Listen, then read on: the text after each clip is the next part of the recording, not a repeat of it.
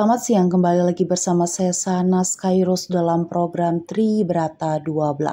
Berita hari ini Direktorat Tidak Pidana Tertentu atau DT Peter Baris Krimpori berhasil mengamankan lima orang tersangka penjual oli palsu yang sudah beroperasi sejak tahun 2020.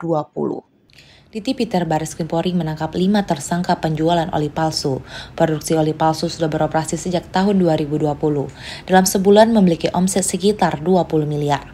Direktur Tipiter Baris Krimpori Brigjen Pol Hersa Dwi Rusdiono menyampaikan, para tersangka memproduksi oli tidak sesuai standar dan memasarkannya ke sejumlah agen dan distributor oli di seluruh dunia. Setiap tersangka memiliki peran masing-masing, seperti tersangka AH, AK, dan FN merupakan pemilik usaha, sedangkan AL alias Ton dan AW masing-masing bertugas di bagian operasional. Dalam pengungkapan tersebut, penyidik mengamankan sejumlah barang bukti dan menyegel 9 gudang oli milik tersangka yang berada di tiga kawasan di wilayah Gresik, Jawa Timur.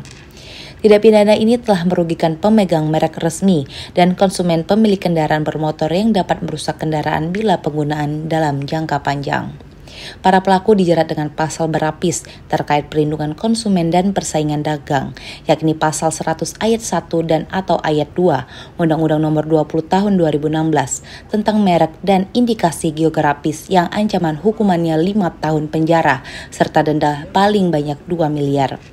Kemudian pasal 120 ayat 1 junto pasal 53 ayat 1 huruf B Undang-Undang Nomor 3 Tahun 2014 tentang perindustrian dengan ancaman hukuman paling lama 5 tahun dan denda paling banyak 3 miliar.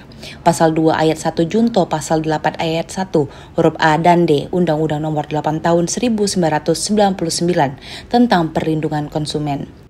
Kita akhiri teman-teman. Wassalamualaikum warahmatullahi Dari Jakarta, Tim Liputan melaporkan.